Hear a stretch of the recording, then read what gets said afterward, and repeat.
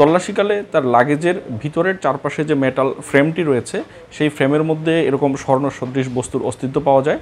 উদ্ধারকৃত স্বর্ণের মোট পরিমাণ এক কেজি একশো ষাট গ্রাম। চোরা কারবারিরা প্রতিনিয়ত নতুন নতুন কৌশল অবলম্বনের চেষ্টা করছে। কোন সংবাদের ভিত্তিতে কমিশনার মহোদয়ের নির্দেশে ওসমানী আন্তর্জাতিক বিমানবন্দর কাস্টমস কর্তৃক আজ সকাল সাড়ে দশটায় আবুধাবি থেকে আগত ফ্লাইট বিজি টু টু এইটের যাত্রী জনাব মইনুল ইসলাম শাকিলকে কাস্টমস কর্তৃক অনুসরণ করা হয়। পরবর্তীতে উক্ত যাত্রী তার লাগেজ সংগ্রহ করে কাস্টমস গ্রিন চ্যানেল অতিক্রমকালে কাস্টমস কর্মকর্তাগণ কর্তৃক তাকে চ্যালেঞ্জ করা হয়। প্রাথমিকভাবে তিনি তার লাগেজে বা দেহে কোনো প্রকার স্বর্ণ এবং ঘোষণাযোগ্য পণ্য থাকার বিষয়টি অস্বীকার করেন। পরবর্তীতে কাস্টমস কর্তৃক তার দেহ এবং লাগেজ তল্লাশি করা হয়।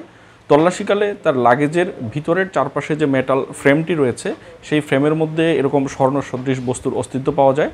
পরবর্তীতে বিমানবন্দরে কর্মরত সকল সংস্থার উপস্থিতিতে সেটি খুলে ইনভেন্টরি করে এরকম এই স্বর্ণ দিয়ে তৈরি একটি ধাতব তারের মতো বস্তু যা সুটকেসের ফ্রেমের মধ্যে লুকায়িত অবস্থায় রাখা ছিল, যা পরীক্ষা করে স্বর্ণ বলে প্রমাণিত হয়।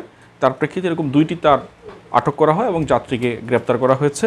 উদ্ধারকৃত স্বর্ণের মোট পরিমাণ এক কেজি একশো ষাট গ্রাম, যার আনুমানিক বাজার মূল্য আশি লক্ষ টাকা। আটক যাত্রীর বিরুদ্ধে কাস্টমস আইন এবং ফৌজদারি আইনে বিমানবন্দর থানায় মামলা দায়েরের বিষয়টি প্রক্রিয়াধীন রয়েছে। সাম্প্রতিককালে এই কেসটা আমাদের এই ওসমানী আন্তর্জাতিক বিমানবন্দরে একটু ভিন্ন। তবে এরকম বিভিন্ন কৌশল বিভিন্ন এয়ারপোর্ট দিয়ে দেখা যায়, যখন প্রথম দিকে যখন স্বর্ণ চোরাচালানের ঘটনাগুলো দেখা যেত যে তারা সরাসরি বার বা অলঙ্কার নিয়ে আসে, তো এগুলো যেহেতু কাস্টমসের দক্ষতা এবং সচেতনতার কারণে এগুলো ধরা পড়ছে, সুতরাং চোরা কারবারিরা প্রতিনিয়ত নতুন নতুন কৌশল অবলম্বনের চেষ্টা করছে। তারই অংশ হিসাবে আমরা ধরে নিচ্ছি যে হয়তোবা তারা এই এরকম ভিন্ন ফর্মে বিশেষ কৌশলে স্বর্ণ পাচারের চেষ্টা করেছে। তবে কাস্টমসের সক্ষমতা রয়েছে। যেই ফর্মেই স্বর্ণ বা অন্য কোনো পণ্য চোরাচালানের চেষ্টা করা হোক না কেন কাস্টমস সেটি আটক করে আইনগত ব্যবস্থা নিতে সক্ষম।